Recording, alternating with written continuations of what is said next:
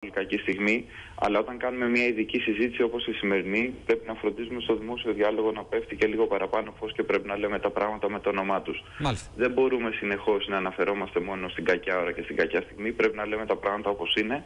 Το χθεσινό ήταν ένα εργατικό ατύχημα, ήταν ένα πάρα πολύ σοβαρό εργατικό ατύχημα και πρέπει επιτέλους στη δημόσια σφαίρα να συζητήσουμε για το τι συμβαίνει με τα εργατικά ατυχήματα, τι συμβαίνει στον χώρο της υγείας και ασφάλειας, γιατί αν δεν μπούμε τα πράγματα με το πραγματικό τους όνομα, με τον ορισμό τους, δεν δούμε τις συνθήκες μέσα στις οποίες αναπτύσσονται, δεν θα μπορέσουμε και να τα αντιμετωπίσουμε. Δεν Έχετε, γίνεται κάθε έχετε φορά. απόλυτο δίκιο και αυτό τουλάχιστον εμείς σε αυτή την εκπομπή αυτό προσπαθούμε να κάνουμε. Το γνωρίζω, το γνωρίζω πάρα πολύ καλά, το γνωρίζω πάρα πολύ καλά, αλλά δεν γίνεται κάθε φορά ε, όταν γίνεται ένα τέτοιο ατύχημα πάντα να ψάχνουμε την κακιά ώρα ή τι πήγε στραβά. Πάμε το- λοιπόν Όχι, να δούμε πάμε τι, λοιπόν, τι πάμε να ισχύει. Πέστε μας την εικόνα.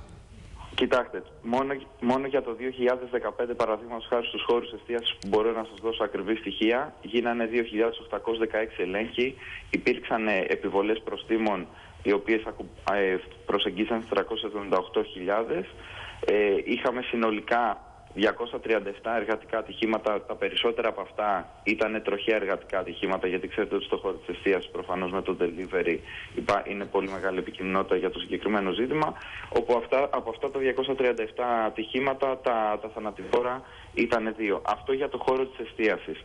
Ε, για, τα, για το πρώτο εξάμεινο του 2016 που η υπηρεσία έχει ήδη επεξεργαστεί τα στοιχεία, ε, έχουμε περισσότερες από, ε, περισσότερα από 2.000 καταγεγραμμένα εργατικά ατυχήματα και αν δεν κάνω λάθος τα, τα θανατηφόρα είναι, ε, είναι 29 εργατικά ατυχήματα. Μάλιστα. Η επιθεώρηση ε, βρέθηκε στο χώρο από την πρώτη στιγμή. Η επιθεώρηση με...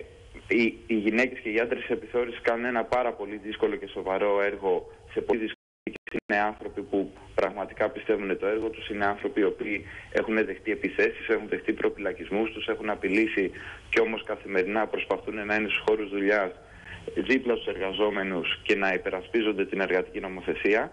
Ήδη και για τις γιορτές έχει ξεκινήσει ένα πολύ μεγάλο πλάνο ελέγχων στην αγορά εργασίας το οποίο αντιμετωπίζει και ζητήματα υγείας και ασφάλειας και ζητήματα εργασιακών σχέσεων, δηλαδή απλήρωτε- απλήρωτες πυρορίες, Ναι, ναι. υποδηλωμένη εργασία, μη δηλωμένη εργασία, μαύρη ανασφάλιστη εργασία, όλη, όλο το, το φάσμα και το πεδίο των, ε, των ζητημάτων με το οποίο πρέπει να, να, να ασχολείται η επιθεώρηση εργασίας. Μάλιστα. Προφανώς και έχουν δίκιο στις καταγγελίες τους οι εργαζόμενοι όταν λένε ότι αυτή η έλεγχη δεν είναι όσοι θα έπρεπε να είναι ή δεν είναι αρκετή γιατί και το σώμα δυστυχώς και λόγω της πολιτικής που έχει ακολουθεί όλα τα προηγούμενα έχετε και τον χρόνια κόσμο, θα μου πείτε. υποβαθμίστηκε, δεν σ' άκουσα. Δεν έχετε και τον, απο- και τον κόσμο που χρειάζεται θα μου πείτε λέω. Ακριβώς.